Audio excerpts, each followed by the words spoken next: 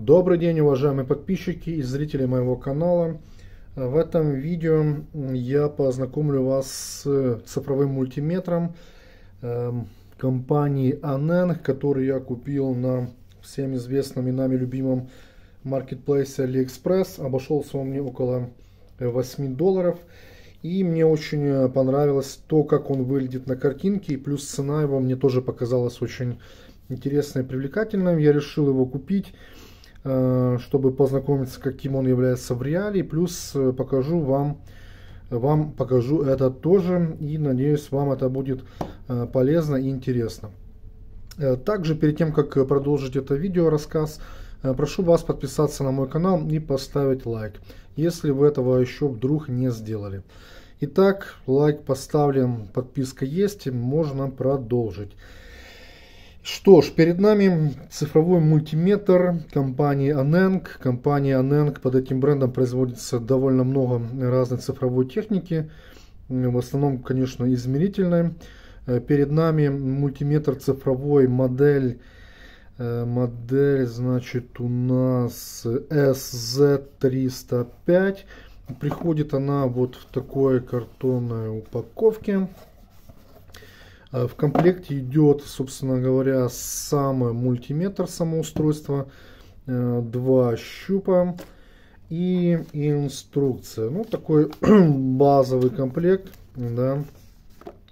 Также устройство приходит без э, элементов питания. В данном случае к этому устройству подходят две батарейки стандарта 3A, ну AAA, да, на полтора вольта, ну, либо э, такие же аккумуляторные э, батареи. Что ж, давайте посмотрим на само устройство. Вот так вот выглядит. Он чик-чик, да. Ну, что можно сказать? Перед нами довольно большой экран, э, кнопочки управления. Э, видна панелька для проверки э, транзисторов, э, гнезда для подключения для разных режимов измерения щупов, сам переключатель. Есть у нас такая подставка, можно сделать вот так, что в некоторых случаях для измерения может быть удобно. Единственное, что можно сказать, что если вы поставите устройство на скользкой поверхности, он будет э, скользить, потому что ну, пластик довольно скользкий, э, ну такой скользящий, и нету прорезиненных поверхностей вообще.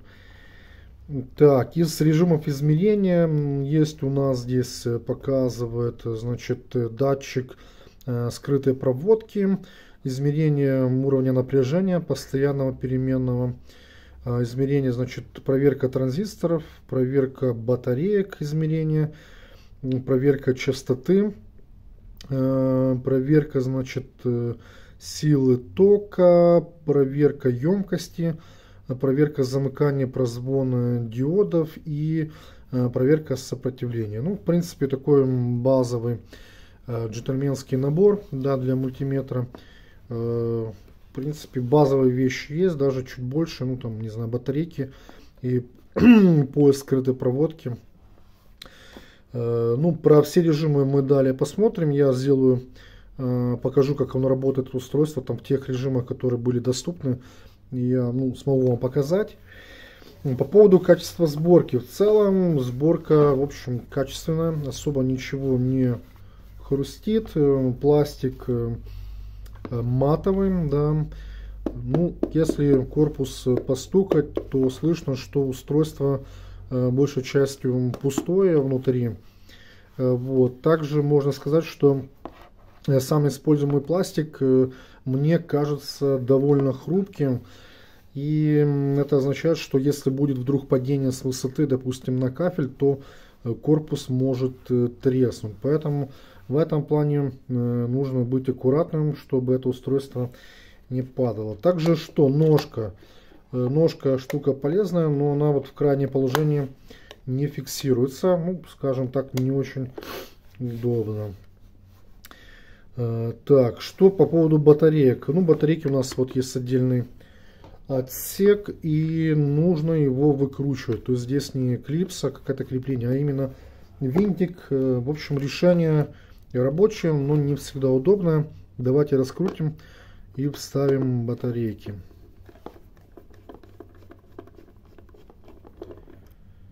Так, есть. Сама крышка тоже, собственно, не фиксируется, просто легко выпадает, поэтому э, в любом случае придется э, закручивать, да, отсек с батарейками. Вставляем наши батарейки. Раз и два. Так, закрываем отсек. Болтик. Где же наш болтик? Так. Раз, берем болтик.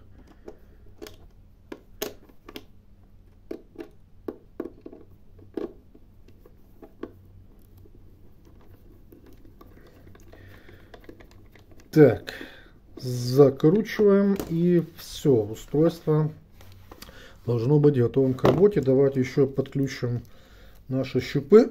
Пару слов про э, щупы, что о них можно сказать. Ну, первое, они относительно короткие. Я бы сказал, что вот были бы они чуть длиннее, было бы удобнее. Ну, если сравнить с другими мультиметрами, Плюс сами провода, в общем-то, жестковатые, поэтому они э, ну, не такие гибкие. В общем, в общем, щупы, скажем так, не, не самые дорогие. Да? Но, в принципе, щупы можно докупить, поменять. Ну, а если вы не часто пользуетесь, то и таких э, щупов такого вида вам, в принципе, тоже будет хватать.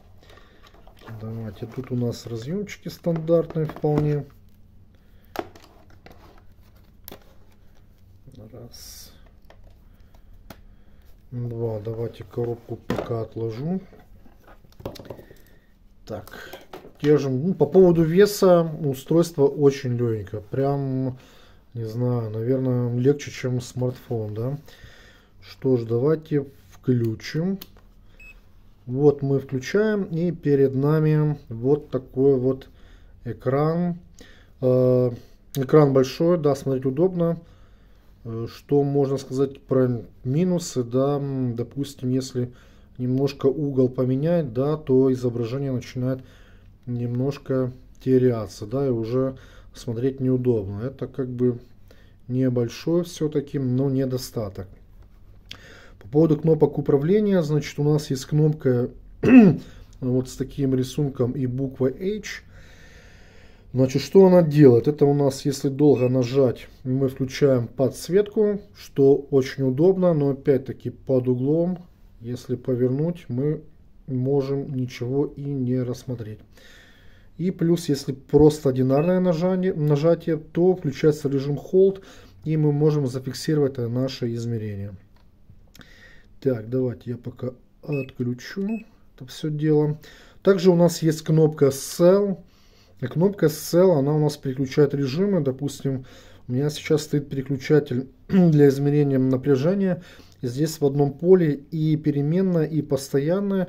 И для того, чтобы переключаться, мы нажимаем кнопку. Видите, в данный момент у нас DC. Если нажать, то переключается на AC. Ну, то есть переменная, э, постоянная переменная. Да? Ну, в принципе, удобное решение. Э, позволяет э, вписать в как бы в одну позицию несколько измерений. В общем, это э, классно. Значит, давайте еще скажу по поводу переключателя. Да. Э, сам переключатель, я бы сказал, довольно такой нечеткий. И попасть в позицию не ну, как бы просто, но есть устройства, в которых э, этот механизм работает более четче и понятнее. Да. То есть вот такой, как бы, не знаю, вязкий, да, переключение. Ну, как бы мелочь, да, но вот такой момент. Э, значит, у нас есть режим NCV для поиска скрытой проводки. Что я могу про него сказать? Немножко попользовался. Ну, как бы, этот режим работает, но из-за того, что, наверное, там стоит слаб, слабый датчик, то для каких-то постоянных э, регулярных работ Э, этот режим, этот устройство точно не подойдет. Поэтому рассчитывайте. Далее, давайте мы переключим. Значит, у нас измерением напряжения, да вот, допустим, у нас сейчас стоит постоянный ток 2 вольта. Давайте попробуем измерить батарейку. Чтобы увидеть, как показывает экран. Итак, что мы видим? Ну, видим, да, 1.477, да, померили.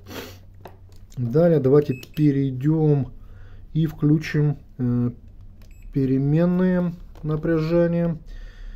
Так, включили, померяем, что у нас, какое напряжение у нас в сети, да.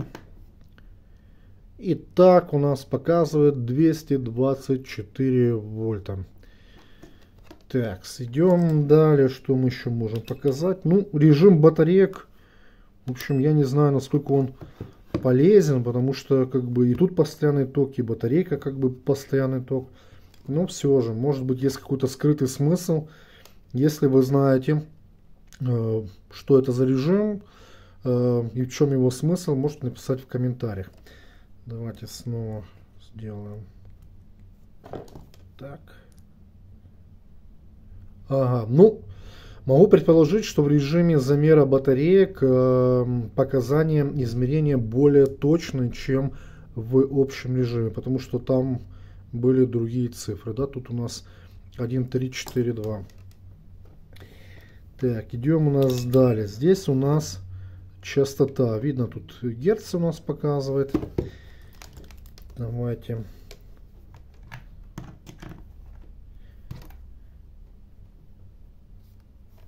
Так, что у нас показывает?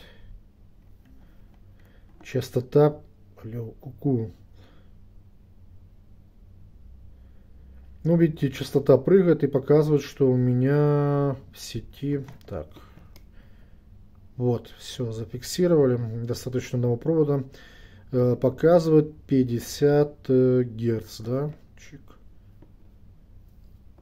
Да, есть. Еще раз давайте. Да, 50. Ну, этим попробуем. Ага. Да, тоже 50. Да. Ну, походу можно использовать э, оба щупа для изменения э, частоты, либо можно, наверное, сразу два. Да. Вот, далее.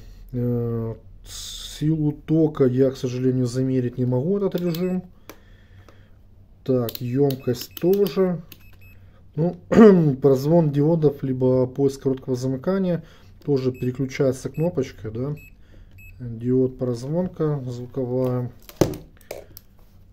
Давайте погудим. Есть, да. Работает.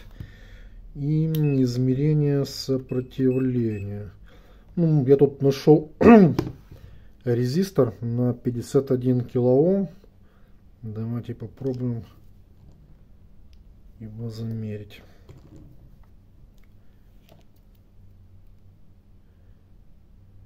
Так, что у нас показывает? У нас показывает 50.3 килоома. Вот, что, в принципе, плюс-минус соответствует резистору. Э, вот. Есть имеется. Ну, принципе, на этом наше измерение, в принципе, все. Да? Как бы большую часть функционала я показал. Э, в описании к видео я оставлю ссылки на само устройство, на продавца. Там есть таблички с более полной информацией. Еще добавлю, что у, этот, у этого устройства есть режим автоотключения. Видите, здесь у нас указано Auto Power Off. То есть, если им долго не пользоваться, там, ну не знаю, минут 5, да, он будет лежать спокойно, то устройство само отключится, и это большой плюс. Не будете высаживать зря батарейки, либо аккумуляторы. Также добавлю по поводу точности измерения. Ну, если сравнивать с другими устройствами, то точность измерения, измерения у этого устройства, э, ну, он менее точный, да чем некоторые другие более э, дорогие экземпляры. Давайте его отключу. И как бы подводя итог, э, мое мнение об этом устройстве. Э, что ж, если вы профессионально работаете с электроникой, проводите постоянно какие-то измерения, замеры, то это устройство точно не для вас. Э, потому что оно ну, недостаточно точное, потому что для измерений может быть и важна точность. Э, нету еще некоторых режимов дополнительных полезных, как бы корпус, Э, ну, экран, в общем, для постоянной работы он не очень подходит. Неудобные щупы, вот, ну, куча разных нюансов, корпус там не прорезиненный, нету аккумуляторов, э, ну, по-разному. Э, вот. Но, с другой стороны, если вы пользуетесь редко мультиметром, если вы там иногда хотите посмотреть Э, какое напряжение в сети, если оно вообще, либо проверить что-то там на наличие э, короткого замыкания, там проверить, не знаю, аккумулятор напряжения, э, и это происходит очень редко, то это устройство для вас вполне подойдет.